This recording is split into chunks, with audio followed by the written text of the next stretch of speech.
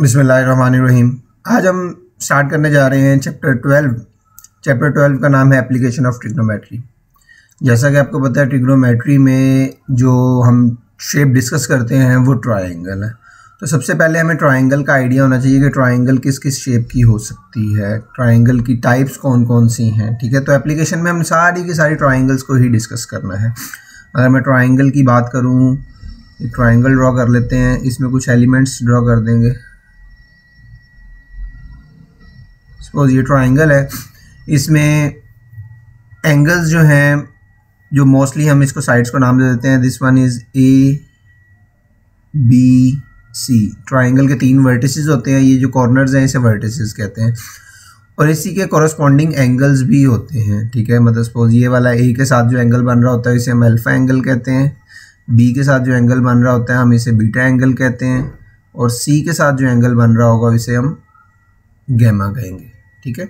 ये नोटेशन हम अपने पूरे चैप्टर में ऐसे ही यूज़ करनी है। अल्फ़ा का मतलब ए वर्टिस के साथ वो एंगल है बीटा का मतलब बी के साथ। ए के जो ऑपोजिट वाली साइड होगी या अल्फ़ा एंगल के जो ऑपोजिट साइड होगी, उसको हम स्मॉल ए बोलेंगे। ठीक है? इसको हम स्मॉल ए बोलेंगे, ये वाली साइड और सी के ऑपोजिट जो होगी, वो स्मॉल सी होगी और जो बी के ऑपोजिट साइड होगी, वो स्मॉल बी होगी। तो एलिमेंट्स ऑफ़ ट्राइंगल की अगर बात की जाए, क्योंकि एक्चुअली हमने एलिमेंट्स ही फाइंड कर दें एलिमेंट्स ऑफ़ ट्राइंगल है कौन कौन से हैं?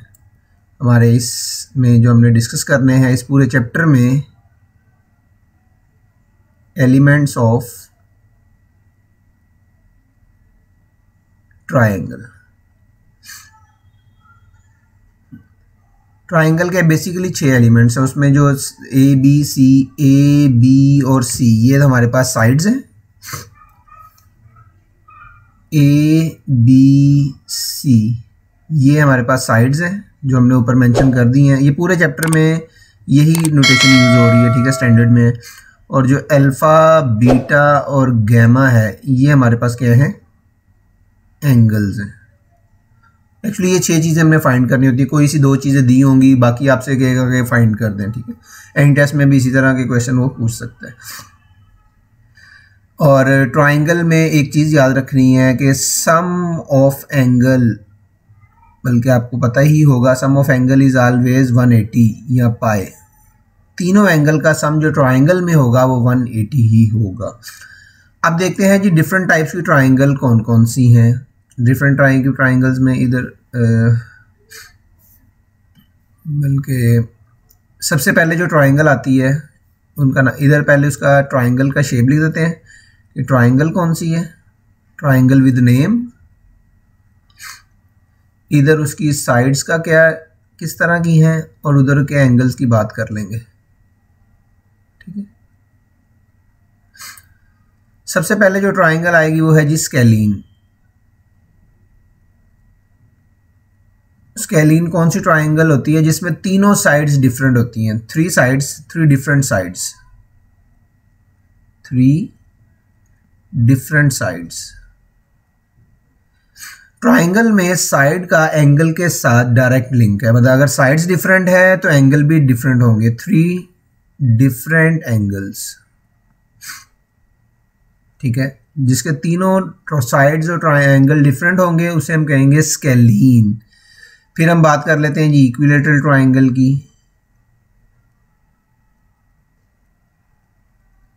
इक्विलेटरल इक्विलेटरल कौन सी होती है? जिसमें तीनों साइड्स क्या होती हैं? बराबर होती है। Three same sides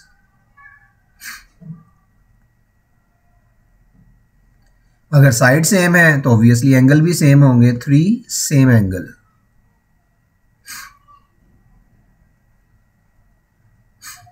equilateral triangle के बाद हम बात कर लेते हैं जी आइसोसेलस ट्राइंगल की। ये डिफरेंट टाइप्स की, इनके नाम आपको याद होने चाहिए और इनकी प्रॉपर्टीज़ भी याद होनी चाहिए। आइसोसेलस ट्राइंगल आइसोसेलस में दो साइड सेम होती हैं टू सेम साइड्स मतलब इक्वल साइड्स होती हैं और सेम होती हैं। अगर दो साइड इक्वल हैं तो इसका मतलब है दो एंगल भी इक्वल होंगे। टू सेम एंगल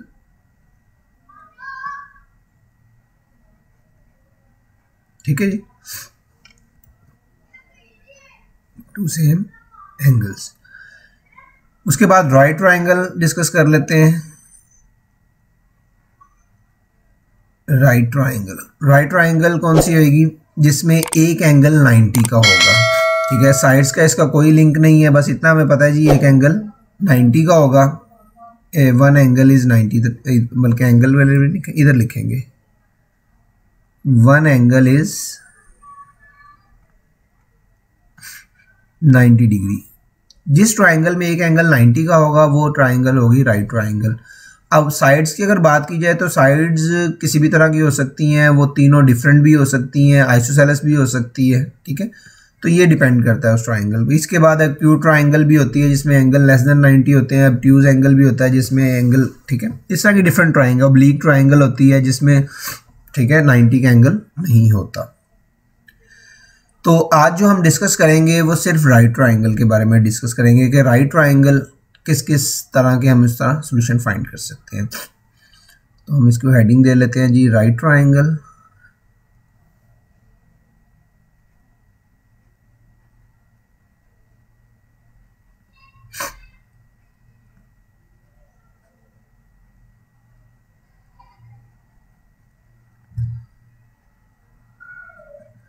अब राइट ट्राइंगल का हमें आइडिया है कि उसमें एक एंगल क्या होएगा? 90 डिग्री का होगा। तो अगर एक, अगर मैं ट्राइंगल भी ड्रॉ कर लेता हूँ कोशिश करता हूँ राइट ही बने।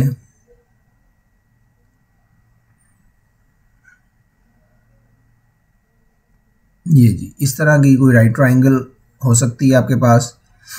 इसमें ये वाला एंगल जिसमें इस तरह का सिंबल लगा होगा इस सिंबल को भी हम कहते हैं 90 डिग्री, ठीक है? तो राइट ट्राइंगल राइट ट्राइंगल में जो साइड्स होंगी, ये आपका जो जिस पे 90 डिग्री और सपोज़ ये वाला एंगल हम सपोज़ कर लेते हैं, इसको थीटा अल्फ़ा भी कह सकते हैं बीटा भी थीटा जो आपको इजी लगे, ठीक है? थीटा कर लेते हैं। थीटा और जो परपेंडिकुलर है 90 डिग्री का एंगल है। उसके जो साथ मतलब जिस साइड पे एंगल 90 होगा और थीटा होगा, उस साइड को हम कहेंगे बेस थीटा के जो ऑपोजिट एंगल होगा, इस थीटा के ऑपोजिट जो साइड होगी, उसे हम कहेंगे परपेंडिकुलर और जो 90 के ऑपोजिट होगा, वो होगा हाइपोटनियस ठीक है? तो राइट ट्राइंगल में हमेशा हाइपोटनियस भी मिलेगा आपको बेस भी मिलेगा और परपेंडिकुलर भी मिलेगा. ये राइट ट्राइंगल के अलावा आपको कहीं नहीं मिलेगा. साथ ही हम बात कर लेते हैं रेशोज़ की, जो ट्रिग्नोमेट्रिक रेशोज़ हैं, वो किस तरह यूज़ होंगी? हमें पता है जी साइन जो थीटा है साइन थीटा क्या होता है? Perpendicular over hypotenuse similarly cos theta क्या होगा? बेस ओवर हाइपोटनियस और tangent theta is perpendicular over base और इन्हीं के रेसिप्रोकल हैं, से साइन का रेसिप्रोकल क्या होता है? कॉसिकेंट थीटा तो कोसिकेंट थीटा क्या हो जाएगा? हाइपोटनियस ओवर बेस ठीक है? जो छः ट्राइंगल जो छः ट्रिग्नोमेट्रिक रेशियोज है। हाइपोटनियस ओवर परपेंडिकुलर सिमिलरली जो कॉस थीटा का रेसिप्रोकल है विच इज़ सीकेंट थीटा तो सीकेंट थीटा क्या आएगा? Hypotenuse over base and last one is cot theta वो क्या हो जाएगा? बेस ओवर परपेंडिकुलर ठीक हो गया। तो ये जितनी भी टिग्नोमेट्रिक रेशियोज हैं sine cos tan cosecant secant code ये सिर्फ़ और सिर्फ़ राइट ट्राइंगल में ही यूज़ करनी है आपने। मतलब परपेंडिकुलर ओबियस है क्योंकि परपेंडिकुलर हाइपोटनियस और बेस आपको राइट ट्राइंगल ही मिलेगी। इसके अलावा अगर ओब्लिक ट्राइंगल है स्केलिन है, उसमें आपको नहीं मिलेगी। और एक और इंपॉर्टेंट है जी पैथागोरस थ्योरम वो आपने याद रखना है। इधर मैं लिख देता हूँ। Hypotenuse square is equal to base square plus perpendicular square ठीक है जी? ये भी राइट ट्राइंगल पे ही यूज़ होगा। ये आपने याद रखें तो राइट ट्राइंगल में हम ये चीज़ें यूज़ कर सकते हैं। फिर हम साथ ही उसके एरिया की बात भी कर लेते हैं ना। Area of triangle area of right triangle क्या हो जाएगा। One by two one by two base into height height वही परपेंडिकुलर होगा और बेस आपको पता ही। ठीक है जी? तो एरिया फाइंड करेंगे हम इस फॉर्मूले से। उसके अलावा हम जितने भी एलिमेंट्स हैं, वो हम ये साइन कॉस्ट एन या पैथागोरस थ्योरम यूज़ करके फाइंड कर सकते हैं। कुछ चीज़ें आपको याद रखनी है, मैं आपको वो इधर एक्सप्लेन कर देता हूँ कि कुछ ट्राइंगल्स हैं उसकी आप डायरेक्ट ही फाइंड कर सकते हैं। मतलब फॉर एग्जांपल मैं आपको एक एग्जांपल बना के देता हूँ। सपोज़ ये ट्राइंगल है राइट ट्राइंगल ही बनाएँगे।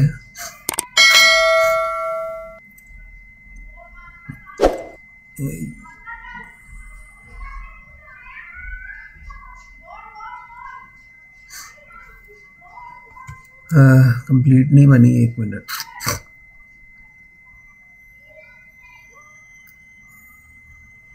ये, ठीक है जी? ये है जी राइट ट्राइंगल इसमें ये एंगल 90 का है। सपोज़ ये एंगल आपको दे दिया गया है थर्टी अगर ये वाला एंगल थर्टी है तो बाकी इसके एलिमेंट्स फाइंड करें। इसको मैं एज अ क्वेश्चन हम समझ लेते हैं कि ये क्वेश्चन ही है हमारा।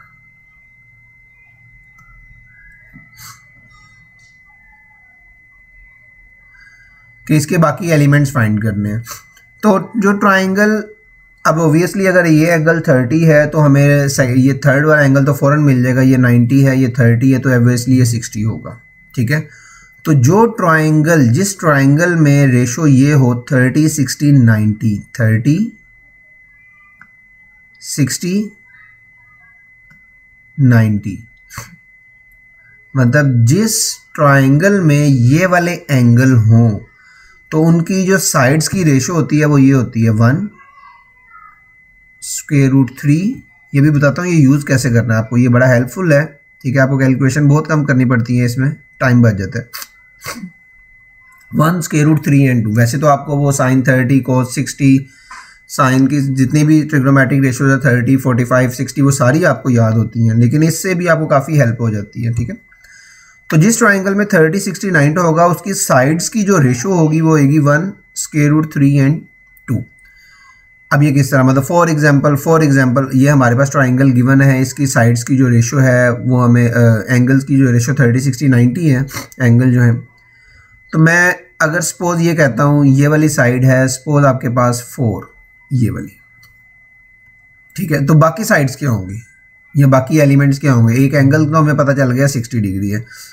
अब देखें, आपने सिर्फ़ ये देखना थर्टी सिक्सटी नाइन्टी है तो ये रेशो आपको याद है। तो इन, किस एंगल के सामने ये साइड है? 90 के सामने 90 के सामने ऑपोजिट साइड कितनी दी गई है आपको? फोर लेकिन अगर हम अपनी जो रेशो याद है हमें, उसमें 90 की ऑपोजिट साइड क्या है? टू है। तो इस टू को कन्वर्ट करना है आपने फोर में। किस तरह कन्वर्ट करेंगे? बड़ा सिंपल है जस्ट मल्टीप्लाई करना है किसी नंबर से। अब टू को फोर बनाने के लिए टू से ही मल्टीप्लाई करेंगे तो मल्टीप्लाई बाय टू कर दें। जब टू से मल्टीप्लाई कर देंगे, ये देखिएगा ज़रा तो ये क्या बन जाएगा? ये टू आ जाएगा, मैं नीचे थोड़ा लिख देता हूँ, ठीक है? क्योंकि ये रफ वर्क है हमारा। ये बन जाएगा two this one is two square root three and two two ज़ा फोर अब देखिए 90 के ऑपोजिट फोर है जो गिवन है, लेकिन हमने भी 90 के ऑपोजिट फोर बना लिया अब जो इसी बात है, बाकी जो साइड है, उसकी आपको रेशो मिल जाएगी। 60 के ऑपोजिट क्या आ रहा है? टू स्केयर रूट थ्री तो हमारा ये एंगल 60 डिग्री है तो इसके ऑपोजिट क्या आ जाएगा? टू स्केयर रूट थ्री ये लें। और थर्टी के ऑपोजिट क्या आ रहा है? टू इस थर्टी के ऑपोजिट टू है। इस तरह आप इजीली एक जस्ट एक नंबर मल्टीप्लाई करके दोनों साइड्स उसकी फाइंड कर लेंगे। अब वैसे आप साइन थर्टी की रेशो भी यूज़ कर सकते हैं। मैं नहीं कह रहा वही यूज़ करें, लेकिन ये भी अल्टरनेट वे आपको आना चाहिए। काफ़ी टाइम सेव करेगा। चले, एक और एग्ज़ाम्पल इसकी डिस्कस कर लेते हैं। मैं एक ट्राइंगल बना के देता हूँ। हम उसके कंपोनेंट्स फाइंड करते हैं। ये जी राइट ट्राइंगल आ गई। ये सपोज़ है जी 90 इसको सपोज़ हम कह देते हैं 60 है। ये गिवन है आपको।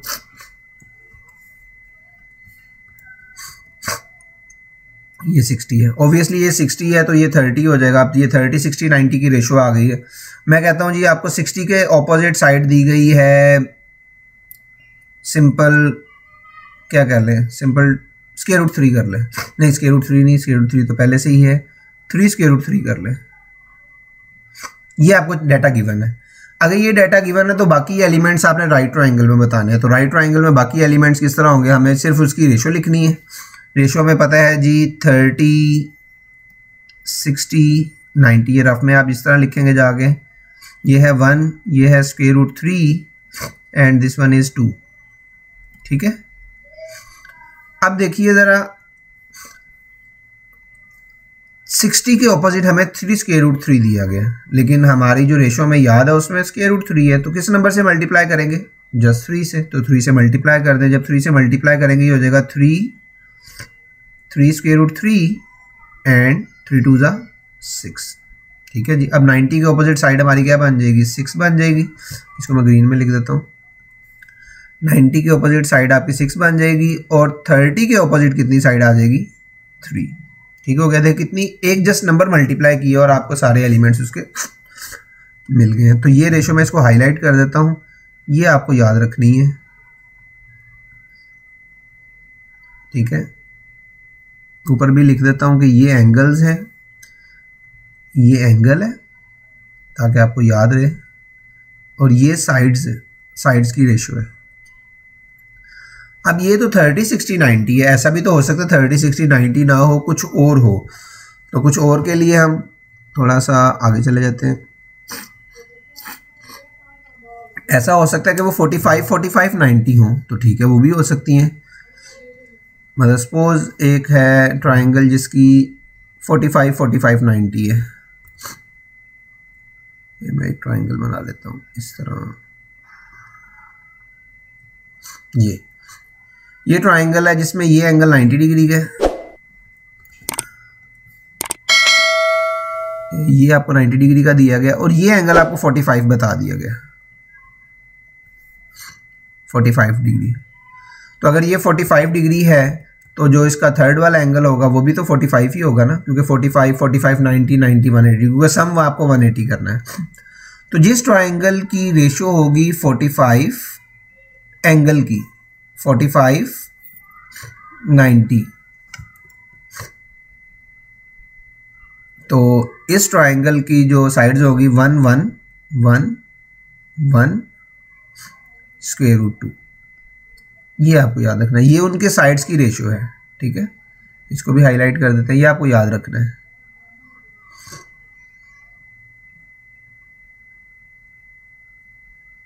ठीक हो गया? तो इसको एरो इधर से भी कर देते हैं कि एक्चुअली ये एंगल है आपका, और ये आपकी क्या है? साइड्स अब बाकी चीज़ें, अब बाकी आपको फाइंड करना है। तो किस तरह फाइंड करेंगे? बड़ा आसान है। इसमें कोई एलिमेंट सपोज़ गिवन कर देता हूँ मैं आपको। 45 के सामने सपोज़ थ्री है। ये गिवन है आपको। तो बाकी तीनों साइड्स फाइंड करनी है। तो 45 के ऑपोजिट अब दोनों 45 है। तो ज़ाहिर सी बात है, जो 45 इसके सामने, वही इसी 45 के सामने भी वही होगा। तो ये बन जाएगा आपका थ्री से जस्ट मल्टीप्लाई करना है तो ये हो जाएगा three three and three square root two ये हो गया three three and three square root two तो फोर्टी फाइव के ऑपोजिट भी थ्री आएगा। ये मैं अंदर लिख देता हूँ थ्री और इसके ऑपोजिट क्या आ जाएगा? थ्री रूट टू तो इन रेशियो का फ़ायदा ये है कि आपको जैसे एक नंबर से मल्टीप्लाई करना है और सारे कंपोनेंट्स आपको मिल जाएँगे। अगर शेप थोड़ी सी बड़ी हो तो ये बड़ा हेल्पफुल कर देंगे। इसको हम जब क्वेश्चन सॉल्व करेंगे तो उसमें देखेंगे ये किस तरह हमारी हेल्प करते हैं। तो जो 12.2 एक्सरसाइज है, वो सारी की सारी आपकी 90 डिग्री वाली है। ठीक है राइट ट्राइंगल वाली। तो राइट ट्राइंगल में अगर तो ये वाले एंगल हैं तो फिर तो बहुत आसान है, फिर तो आप ratio otherwise sine cos tan आप यूज़ करके इजीली आप आंसर उसके फाइंड कर सकते हैं। इसकी एक और एग्ज़ाम्पल कर लेते हैं, ताकि आपको और क्लियर हो जाए।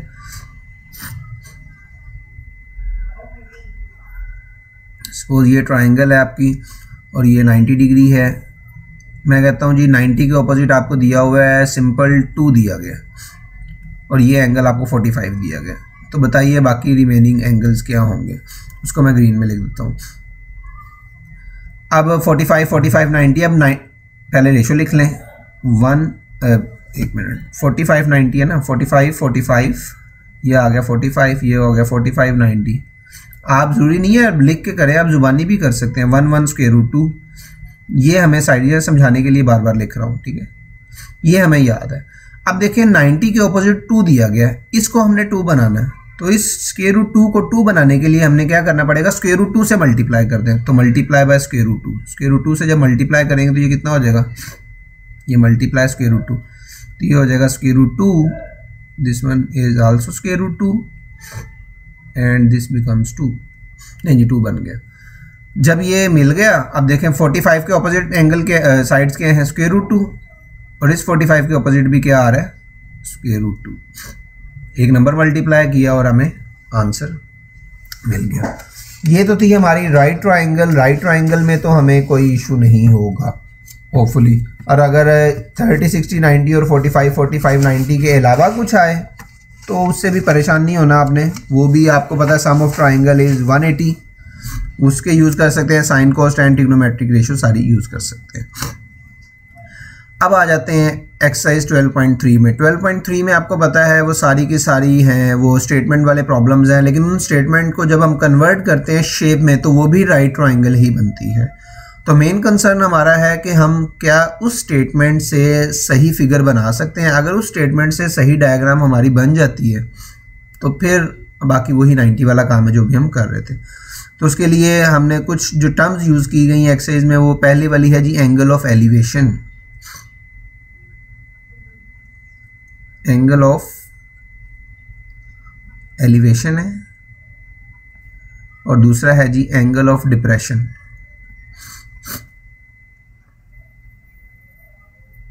तो वैसे तो एक्सरसाइज में आपको एंगल एक ही जगह पे मिलेगा एंगल ऑफ़ एलिवेशन और डिफरेंशियल लेकिन उनमें डिफरेंस क्या है? एंगल ऑफ़ एलिवेशन होता है जब हम यहाँ से खड़े होकर ऊपर की तरफ़ देख रहे होंगे। मतलब फॉर एग्जांपल कोई आदमी इधर खड़ा है और इधर से ऊपर की तरफ़ देख रहा है। तो ये जो एंगल इसका बन रहा है, इसे हम कहेंगे एंगल ऑफ़ एलिवेशन इसको सपोज़ मैं अल्फ़ा कह देता हूँ। ठीक है? इसका कलर चेंज कर लेते हैं। मैं सपोज़ यहाँ कोई ऑब्जेक्ट है या कोई आदमी खड़ा है, इधर से ऊपर की तरफ़ देख रहा है। और जो एक्स एक्सिस से इसका एंगल बनेगा, उसे हम कहेंगे एंगल ऑफ़ एलिवेशन ये एंगल ऑफ़ एलिवेशन है। एंगल हमेशा एक्स एक्सिस से होता है। अगर चल अगर डायग्राम की बात करेंगे तो वो वही बनेगा। मतलब सपोज़ ये एक्स एक्सिस है। यहाँ से कोई ऑब्जेक्ट है जो नीचे की तरफ़ देख रहा है। ठीक है? तो हम ग्रीन लाइन में शो करता हूँ। हम जहाँ से एंगल बनाना होता है, हम एक्सिस उधर शिफ्ट कर लेते हैं। सपोज़ ये एक्सिस है। तो ये एंगल उसका बन रहा होगा अल्फ़ा ठीक है? अगर एल्टरनेट एंगल की बात की तो ये एंगल एक्चुअली इस एंगल के इक्वल ही है। तो देखें एंगल ऑफ़ डिप्रेशन आपका भी इधर ही आ रहा है एंगल ऑफ़ एलिवेशन भी आपका है। एलिवेशन में सिर्फ़ ऊपर की तरफ़ जो एंगल बन रहा होता है डिप्रेशन में हम जब नीचे की तरफ़ कोई चीज़ ऊपर से नीचे की मतलब एरोप्लेन से कोई नीचे की तरफ़ देख रहा है तो वो एंगल ऑफ़ डिप्रेशन होगा। लेकिन दोनों देखें आज आगे, एक ही। अगर हम एक्सेस से बात की जाए तो एंगल उसी पोजीशन पे बन रहे हैं। तो पूरी एक्सरसाइज में यही चीज़ें यूज़ की गई हैं आपकी एंगल ऑफ़ एलिवेशन और एंगल ऑफ़ डिप्रेशन एक क्वेश्चन मैं डिस्कस कर लेता हूँ। स्टेटमेंट वाला, उसको हम कोशिश करेंगे ट्राइंगल में कन्वर्ट करेंगे ट्राइंगल में कन्वर्ट करने के बाद सिंप्लीफाई कर लेंगे। अ फ्लैग पोल बुक में क्वेश्चन है ये। Six metre high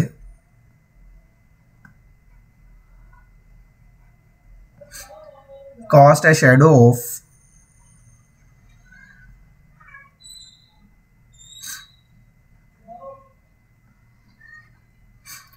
six square root 3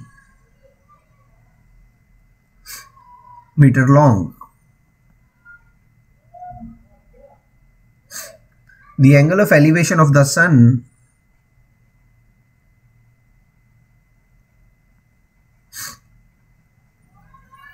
the angle of elevation of the sun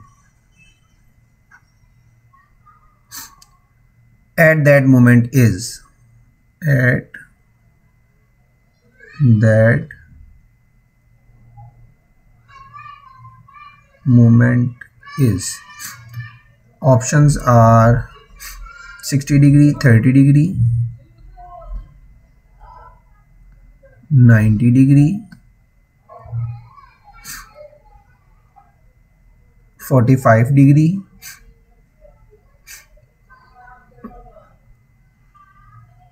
Thirty हो गया एंड सिक्सटी डिग्री ठीक है जी? ये आपने बताना है इसका ऑप्शन तो डायग्राम पहले ड्रॉ करने की कोशिश करते हैं ग्रीन से ड्रॉ करता हूँ a flag pole six metre high अब ये पोल है मतलब सपोज़ ये पोल है। पहले मैं रफ शेप बना देता हूँ, बाद में नीट कर दूँगा, ठीक है? ये पोल है जी हमारा, ये pole. Cast shadow six centimetre इतना इसका शेडो ज़ाहिर से पता नीचे की तरफ़ होगा, ये शेडो आ गया। इसकी लेंथ है जी six square root three metre और ये कितना है सिक्स मीटर का। The angle of elevation of the sun angle of elevation ज़ाहिर सी बात है, यहाँ से कोई ऊपर की तरफ़ देख रहा होगा सन इधर ही कहीं होगा ना मतलब ये सन है हमारा। ये सन है जी। सन ही समझिएगा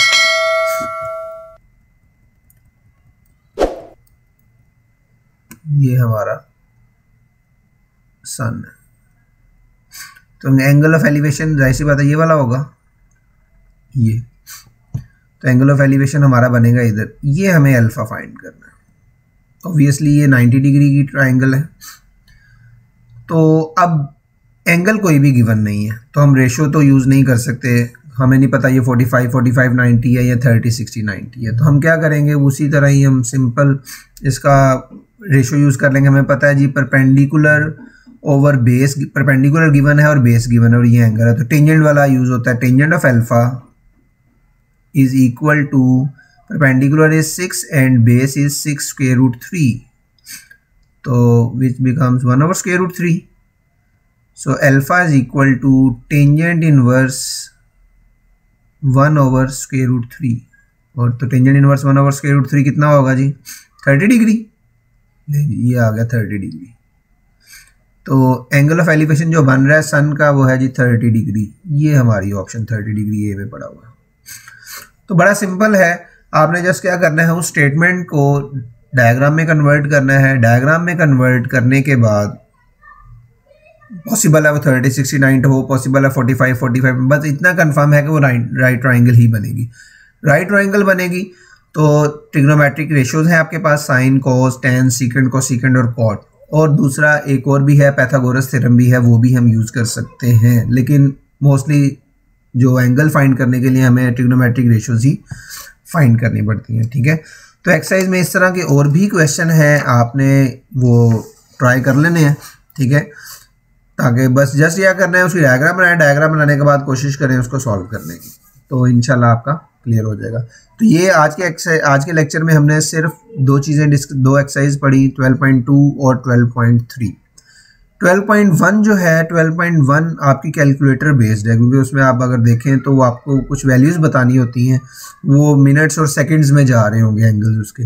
तो मिनट्स और सेकंड्स के लिए कैलकुलेटर आपको यूज़ करना पड़ेगा। तो कैलकुलेटर जो कि एग्ज़ाम में अलाउ नहीं होता तो वो एक्सरसाइज आपको करने की ज़रूरत नहीं है।